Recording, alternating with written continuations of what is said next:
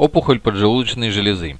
Выполнено исследование. Компьютерная томография органа брюшной полости забрюшинного пространства без внутривенного контрастного усиления с реформатированием в трех плоскостях и реконструкциями в объеме.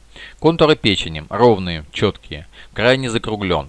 В размерах печень не увеличена. Плотность паренхима равномерна, в среднем плюс 60-65 Хаунсфилда, без контраста. Локальных участков снижения либо повышения плотности не наблюдается. Сосуды системы воротной вены не расширены. Желчный пузырь грушевидной формы, заполнен однородным содержимым плотностью плюс 20 плюс 25 Хаунсфилда, без конкрементов высокой либо низкой плотности, стенка не утолщена. Общий желчный проток не расширен, внутрипеченочные желчные протоки не расширены. до ширины.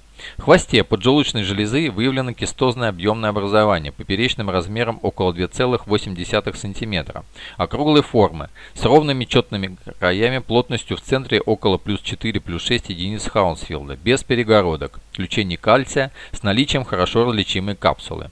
Признаков инвазии окружающей жировой клетчатки не выявлено. В остальном поджелудочная железа обычного дольчатого строения с вестончатыми краями, в размерах не увеличена. Главный панкреатический проток визуализируется во всех отделах, не расширен.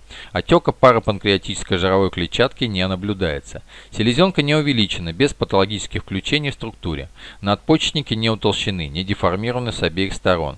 Почки. Объемных образований кист конкрементов в чашках и лаканках не определяется. Чашечно-охланочная система не расширена. Мочеточники визуализируются с обеих сторон, равномерно заполнены контрастом в экскреторную фазу, не расширены, не деформированы, конкрементов в просвете обоих мочеточников не выявлено. Мочевой пузырь обычной формы, стенка не деформирована, не утолщена увеличенных патологически измененных лимфатических узлов, а также свободной жидкости в брюшной полости не выявлено.